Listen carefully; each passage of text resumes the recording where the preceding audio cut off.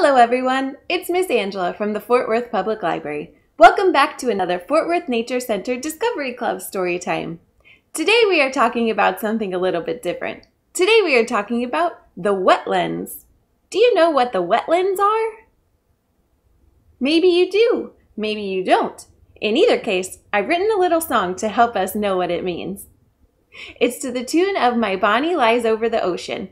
And for this first part, I want to have you repeat after me. Are you ready? Let's go. The wetlands are not the ocean. Ready? The wetlands are not the ocean. The wetlands are not the sea. The wetlands are not the sea. The wetlands are not the dry ground. The wetlands are not the dry ground. Oh, what can the wetlands be? Oh, what can the wetlands be? For this next part, I want you to sing with me as we sing the area around where water meets ground. The area around where water meets ground. So the wetlands, they're not the water and they're not the dry ground. They're the place where the water and the dry ground meet. The area around where water meets ground. And then I'll give you some examples. The area around where water meets ground, like swamps, floodplains, marshes, and ponds, and bogs. Have you heard some of those words before? Swamp, marsh, floodplains, ponds, bogs. Maybe some of those are familiar. Then we're going to say the area around where water meets ground again, and I'm going to tell you some things that live there the area around where water meets ground, home to plants, birds, fish, turtles, and frogs. Let's put it all together. The wetlands are not the ocean. The wetlands are not the sea. The wetlands are not the dry ground. Oh, what can the wetlands be? The area around where water meets ground, like swamps, floodplains, marshes, and ponds and bogs. The area around where water meets ground, home to plants, birds, fish, turtles, and frogs. That's kind of a mouthful, huh? Great job, everyone. Our story for today is a book, and it's called Over and Under the Pond. Do you remember hearing pond on our list of things that can be wetlands? What do you see over the pond? I see a boy and his mother in a boat. And under the pond, what do you see? I see a fish. This book is by Kate Messner with art by Christopher Silas Neal. Open up the cover and see what's on the end pages. What do you see? A lot of fish. Over and under the pond. Over the pond we slide, splashing through lily pads, sweeping through reeds. The water's a mirror reflecting the sky, sunshine and clouds, then a shadow below. What do you think that shadow is? What's down there? I ask. Under the pond, Mom says. Under the pond is a whole hidden world of minnows and crayfish, turtles and bullfrogs. We're paddling over them now.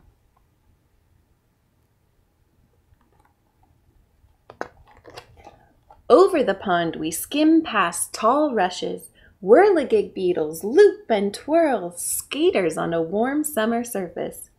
Under the pond, minnows dart through waving forests of grass, while a brook trout lurks, ready to lunge. Over the pond we lift and dip and pull past a row of painted turtles on a waterlogged tree. One, two, three. They slip off and away. Splash, gurgle, sploosh, under the pond. Do you see that turtle number one? It's already underwater. You can still kind of see him. Over the pond, cattails rustle and shush in the wind. Listen close. Kuklari! Red-winged blackbirds race by. One has grass for her nest. Where's her nest? There it is. Under the pond, a caddisfly larva builds a home of her own, a secret shelter of pebbles and sand. Over the pond, the shadows of trees lean out from the shore. We coast under a low hanging branch. Um, do you know what that animal is? We don't have them around here, but maybe you've seen them before. A moose looks up with a mouthful of water lilies. We've interrupted his lunch. Keep eating, moose. Under the pond, and how about this one? You know what that animal is? recognize that tail? Under the pond, beavers dive deep. They pump with powerful tails and rise to the surface with delectable roots from the mud. Over the pond, the wind gives us a push and stirs the light dappled leaves on shore. There on a branch, a new goldfinch teeters, finally ready to fly. You see that bird ready to leave the nest? Under the pond, tadpoles are changing, learning to hop. They're losing tails, growing legs, growing up. What are those tadpoles growing into? Frogs. Over the pond, there at the shore, tall and silent and still, a great blue do you know what kind of bird that is? A heron stares down into the deep. It tenses, takes one long legged step, and strikes. It catches a wiggling quicksilver minnow from where it was hiding under the pond. Over the pond we drift, heads tipped up to the sun. A woodpecker clings to a teetering pine, Woodpecker wham! Digging for ants. Under the pond, an otter claws for freshwater mussels. This kind of mussels? No, the kind that come in shells, the kind that we sometimes eat. Over the pond, a sleepy dragonfly lands for a rest. His spindly legs tickle my knee. Under the pond, dragonfly larvae watch what swims by. They catch, they catch minnows in monster fast jaws. That larva caught a minnow. Over the pond, the shadows stretch. Ospreys circle on quiet wings. Raccoons and mink stalk the shoreline for supper. Under the pond, with a flip of a tail, a crayfish disappears in the dark. You see that crayfish? Looks like he's getting away from the raccoon who maybe wants to eat him for dinner. Over the pond we head for home. We glide, swish, bump, right up onto shore as a far-off loon calls good night. The sky turns from sunset to dusk to dark. Night settles over the pond. The prowling catfish and drowsy turtles the scuttling crayfish and tadpoles turned frogs, wading herons and stalking raccoons. And the hidden world under the pond. The end. I hope you like that one. I sure do. Thanks for joining us, everyone. It's time to pass it over to Mr. Michael at the Nature Center to tell you more about wetlands. Hey, Discovery Clubbers out there. Welcome to this week's edition of Discovery Club. Glad you can join us. Uh, we're going to be talking about wetlands today. Now, Miss Angela has already started us off with some story time, so hopefully you appreciate that. We definitely appreciate that, and thank you, Miss Angela, for that story time. Now we're going to talk a little more about wetlands. Now, did you know that Fort Worth Nature Center Refuge started based on or because of the wetlands? That's right. Just on both sides or opposite sides of the nature center, we have two lakes. We have Eagle Mountain Lake and we have Lake Worth. And those those lakes were constructed in order to protect this this watershed, this area of water. uh, so that there was no development, building things up, and so the water doesn't get uh, messed up. It was set aside so that we can have this wonderful wetland, aquatics, rivers and ponds and streams around us so that we can enjoy them. So that's what a wetland is. Just like you would imagine if I was asking, what, what, what do you think a wetland is? Yeah, exactly. You'd say it's an area that's wet, right? It's some wet land. Well, it's a little more more complicated than that. But that's essentially what it is. It's an area that's filled with water in different ways, whether it be uh, rivers coming into it, or it's a pond, or a marsh, a swamp, all sorts of types of wetlands are out there. Now, behind me, I'm going to kind of get out of the way. This is one of our wetlands that we have here. Uh, it's our marsh area. And as I look at it, there are a couple of birds hanging out in there. We talked about egrets and herons. We talked about pelicans. So all those animals are actually hanging out. Those birds are hanging out in this type of uh, habitat. We'll talk a little bit more about them. But we, we did say what a wetland is. Now let's talk about what the what the purpose of a wetland is. They're very, very important. Right behind me, this wetland here serves as a nursery. It's like a hospital, uh, the, the newborn division or section of a hospital. It's like a nursery. You think about a nursery at a hospital, it's a lot of babies being born and they're being taken care of. Well, this is kind of like a nursery in a sense too because a lot of baby uh, forms of wildlife or young forms of wildlife start here. And we've talked about it when we talked about rivers, where a lot of our dragonflies, uh, they started here in the water here. They start as, uh, as egg, they hatch and become nymphs, then they grow up and become full-grown dragonflies.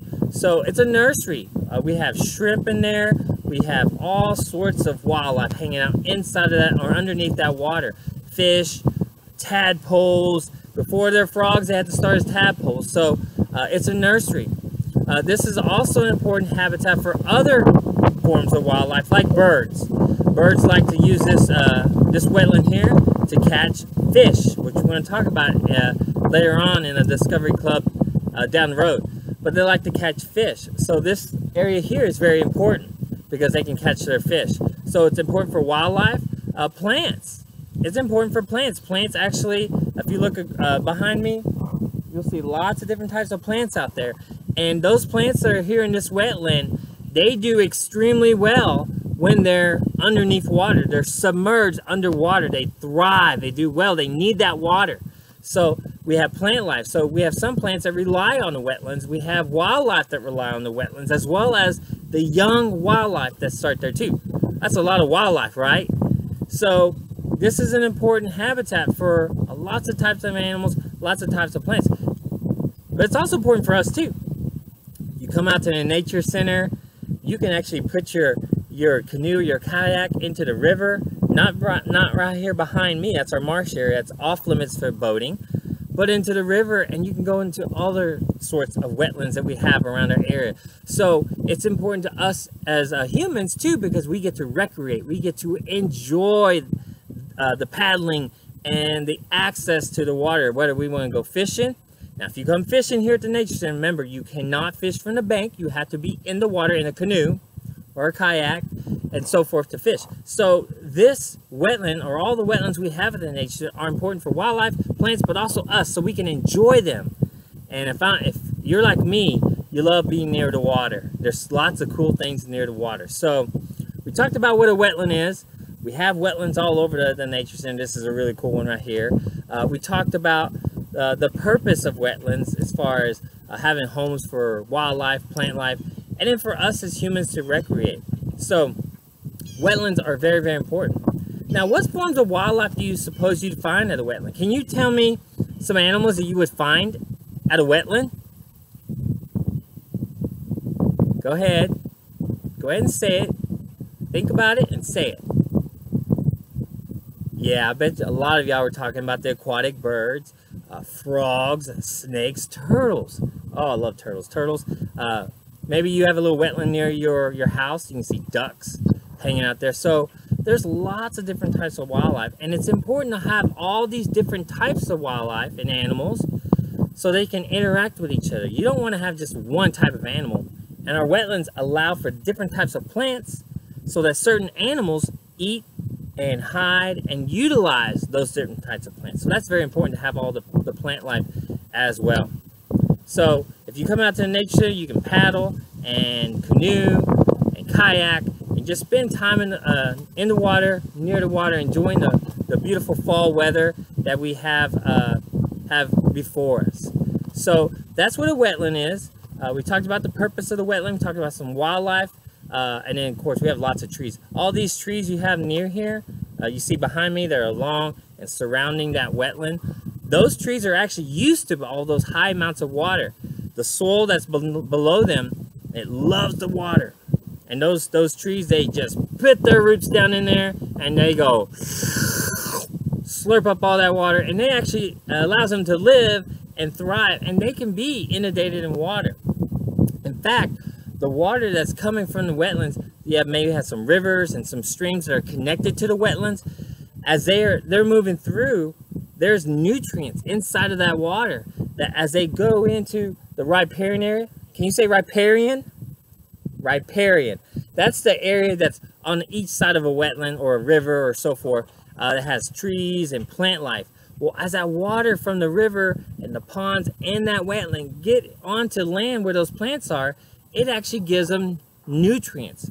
Think about you taking your vitamins. I know my kids in the morning, they're always in a mad dash to take their vitamins. Well, it's kind of like that too. It, it, helps nourish those trees and those plants uh, being right on the edge of a wetland. So that's a pretty cool, uh, cool uh, benefit from those plants being right by a wetland. So uh, that concludes our kind of talking points for our, our wetland discussion. Uh, what I want to do is uh, show you a, a, couple of slides and some pictures of some different types of wetlands, as well as some animals that you would find in and around wetland, and maybe even some plants that you find, like trees and so forth. So uh, stay tuned, check out this slideshow, and uh, enjoy these photos.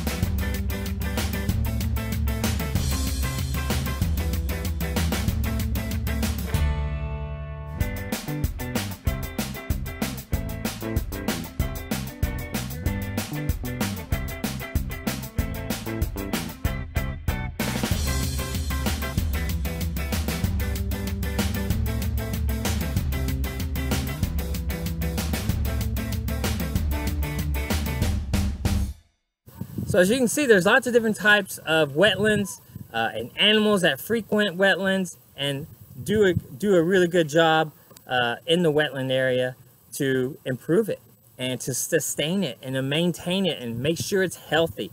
So that's really cool. So those animals play a major role.